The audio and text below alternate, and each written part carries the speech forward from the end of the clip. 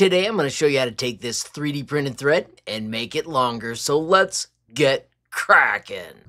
Friends, this is the 3D printed Tinkercad thread. Once again, these are done in Tinkercad and they are turning out absolutely fantastic.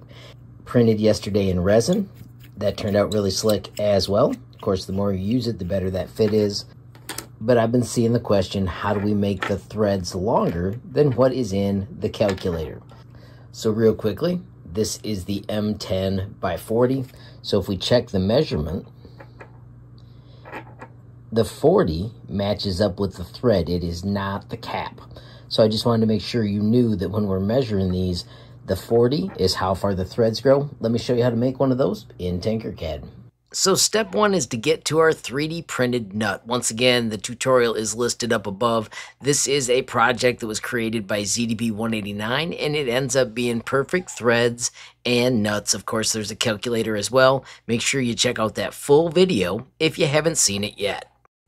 Step one to change this length is simply to ungroup it. All right, so let me show you how to make that thread we saw a moment ago. I'm going to bring out a cylinder and I'm going to use this just as a guide.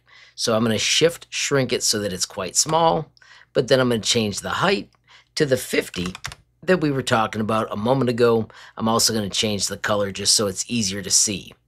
I'm going to hide this part, and I'll show you why in a second. We are going to cruise to this flat spot here. So I'm going to hit C for cruise, and I'm going to grab the dot, and I'm going to just put it right there. But then I'm going to use the arrow keys to move it out of my way. If we zoom out, you can see that is how long an M1050 would be.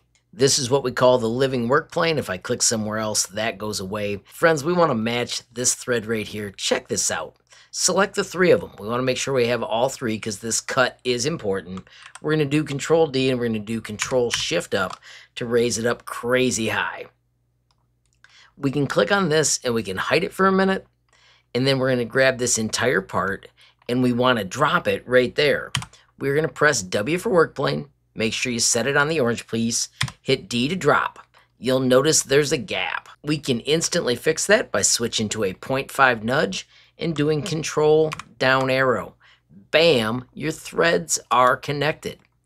We want to raise it up higher, so grab the three again. Once again, control D, control shift up to get it up high.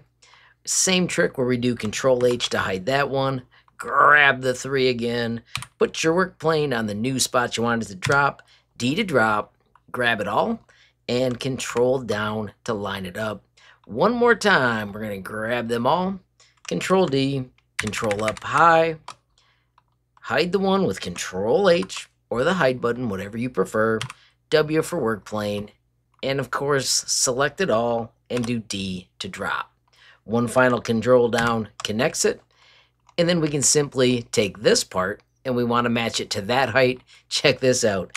W for work plane, D to drop. And it lines up exactly in the middle of that thread. I'm going to put the work plane back down on the ground. And just like that, we're done. An M10 that is now 50 millimeters long. I do also want to highlight, I love this skill. You do not have to group this. That would be 11 shapes, so it starts getting complex. We can simply hit export. Choose STL. I'm going to change the name to 50 millimeter and hit save in my 3D modeling folder. And of course, then let me show you, we'll bounce to Bambu Lab Studio, select our file, and check it out. There is our custom thread.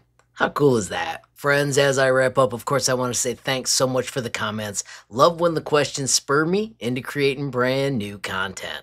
I also want to take a moment to highlight the messaging area in my Patreon. It is a fantastic place to ask questions. It is a free area. You can see right here, this question was started by Camshaft, and you can see all the cool things we shared as we found a solution to the question.